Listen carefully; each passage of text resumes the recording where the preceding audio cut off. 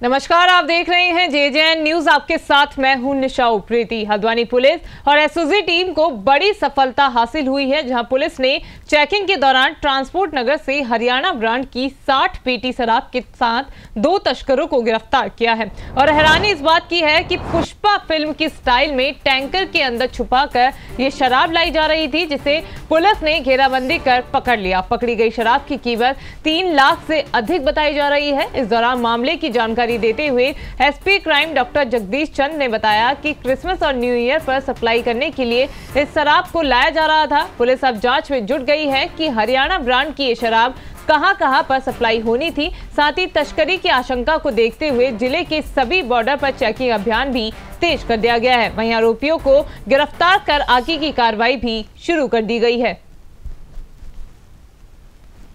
कोतवाली, हल्द्वानी और एसओजी की टीम के द्वारा आज एक बहुत बड़ी मात्रा में शराब पकड़ी गई है। ये शराब हरियाणा से लाई जा रही थी और स्थानीय स्तर पे अभी क्रिसमस और न्यू ईयर के जो आयोजन हैं, वहाँ इसकी खपत होनी थी।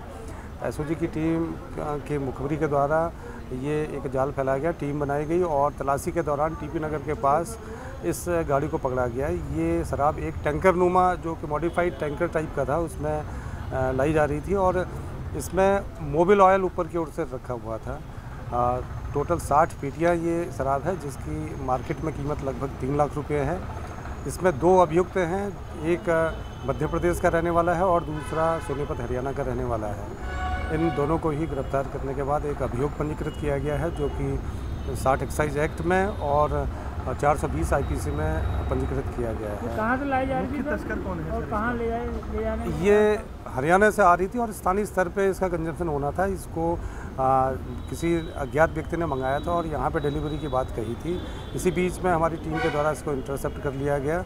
इसमें जो इसके ओनर हैं उनका तो अभी के लिए हमारी इस खास खबर में सिर्फ़ इतना ही। बाकी की तमाम खबरों के लिए आप बने रहिए हमारे साथ और देखते रहिए जे जे न्यूज़।